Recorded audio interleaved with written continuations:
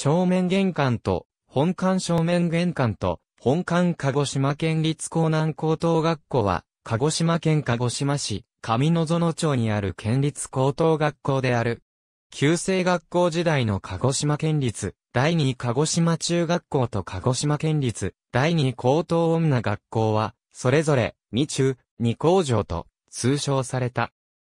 1884年設立の中学増資館の流れを組むとされる、鹿児島県立第二鹿児島中学校と鹿児島県立第二高等女学校の2校が、1948年の学生改革によってそれぞれ、鹿児島県鹿児島高等学校の第4部と第2部になった後、1949年に統合されて、鹿児島県江南高等学校として発足、開校。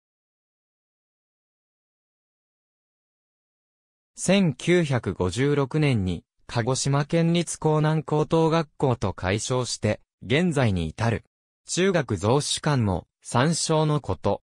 鹿児島県立、第二鹿児島中学校鹿児島県立、第二高等女学校鹿児島県立江南高等、学校90周年記念庭園、追試の森に高記念館有形文化財、登録小本館廊下男子白戦坊中原直介、沖縄拓司、非2020年4月現在。ありがとうございます。